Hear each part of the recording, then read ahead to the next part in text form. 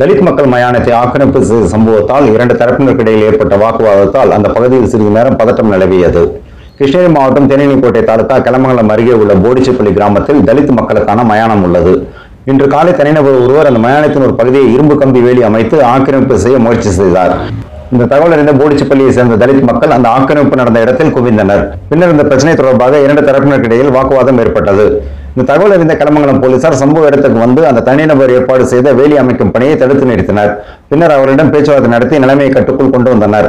இந்த சம்பவம் குறித்து போடிச்சப்பள்ளியை சேர்ந்த ஆனந்தன் என்பவர் கூறுகையில் இங்கே ஒரு நூறு வருஷம் மேலே என் தாத்தா காலம் எல்லாமே இங்கே தான் இருக்கிறாங்க. இப்போ வந்து எங்களது மசானம் இருக்குது அது பக்கத்தில் வந்து தனியார் வந்து ஒரு லேண்டு வாங்கியிருக்காங்க.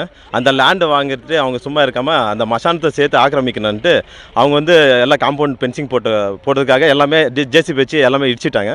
அதனால் வந்து நாங்கள் தெடுக்க வந்ததுக்கு இது வந்து எங்கள் பட்டா லேண்டை நாங்கள் விட முடியாதுன்னு சொன்னாங்க.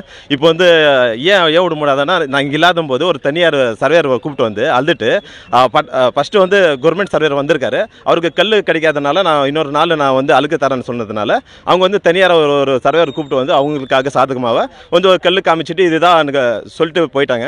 அது இல்லாமல் ரயில்வே டிபார்ட்மெண்ட்டோட கல் இருக்குது அந்த கல் சேர்த்து எல்லாமே இவங்க வந்து காம்பவுண்ட் பென்சிங் போட்டுக்காக வந்தாங்க.